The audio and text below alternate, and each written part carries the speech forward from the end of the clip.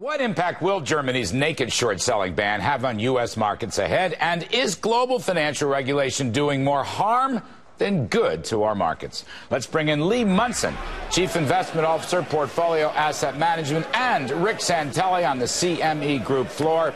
All right, gentlemen. Lee Munson. Usually, naked short selling ban is good. Short selling good if you have short selling is good, but the naked sales are not good. But why do you reckon that the market has reacted so negatively to the ban on the naked shorts? Well, two things. First of all, it really calls into the question what the Germans are thinking. The fact that they're banning something that should be, you know, inherently illegal. I think that the public needs to understand naked short selling that's a wrong thing. And when Germany comes out as if this is some great revelation, it calls into question their judgment.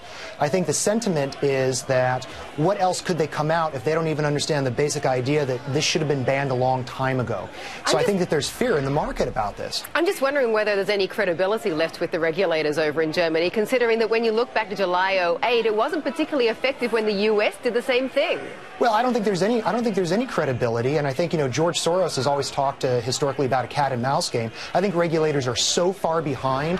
What really worries us is that they don't really know what they're doing. And so that's causing a lot of anxiety for Wall Street because when we're going to do new regulation, we don't think it's going to be effective, but we simply just don't know what they're going to do. So more and, and more uncertainty that, yeah. out there. Rick Santelli, but you know, isn't this in some ways throwing the market a bit of a bone? I mean, it, temporarily, uh, maybe for all of 10 minutes, uh, the markets did react somewhat well to the ban on naked short selling uh, that we saw during the whole crisis back here. Um, so, I, I'm just surprised that people are so concerned when it seems like at least a small step in the right direction.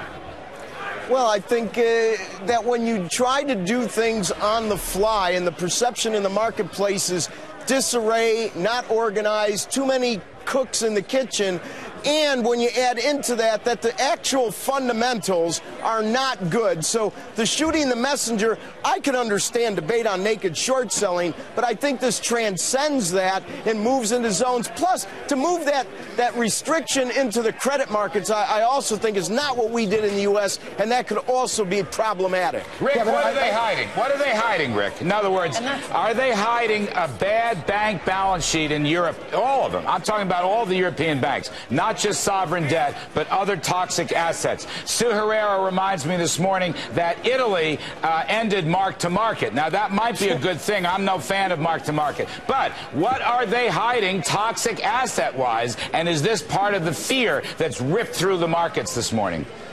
Well, I think absolutely the answer, in my opinion, would be yes, but let's take it a step farther. You know, there's not a big industrial base in Greece. There's been debate about the IMF and how much money we put in. Senate voted 94 to 0 to make sure we don't bail out anybody through the IMF that can't pay it back. With the industrial base of Greece, do you think that there's any real possibility that they'll be able to pay that money back? I think that logic's at the cornerstone right, of what so makes what this different. What happens to the euro? Lee Munson. The what happens the, to the euro? Does it go to parity with the U.S. dollar? No, I don't think it's going to. I think this is where the euro bounces. 123 was a critical support line. We've got a lot of short sellers out there. They're starting to unwind. I think that this is the place where the euro starts to recover. I think that we see it go back to 125, 130 against the dollar. The news just isn't that bad. Why is it going to recover? Know. Why is it going to recover, my friend? Is this immaculate conception? I mean, is it going to be coordinated forex intervention by some of the major central banks around the world, including the Fed? I'm sorry. 95 percent. As though that would, as though coordinated intervention would work. I mean, just tell me, give me a reason. All right, Larry, give me a lifeline. Why Larry, is the euro going to bottom? 95% of speculators right now are short the euro and long the dollar. That's going to unwind. The euro's going to bounce. It may continue to weaken over the next couple of years, but, but why? You know, I mean, I, I, to, to Larry's point, I mean, what's the reason? Forever. Do you think that these economies are really going to recover? Do you no, think that? I, okay, but even Angela Merkel of Germany was saying that the utter existence of the eurozone is in question right now. I think that this is a lot of fear. I think this is way overblown, and I don't think that we have a bunch of toxic assets that are just hidden across all these balance sheets. How about we the fact, did you read the Wall Street Journal story today, Rick Santelli? They're going to tax the banks to death. Europe is going to tax its banks twice to pay Australia is going to have a 40% resource right. tax. The United States wants to tax its banks. I mean, let's just tax them to death. How about that? A brilliant regulatory idea.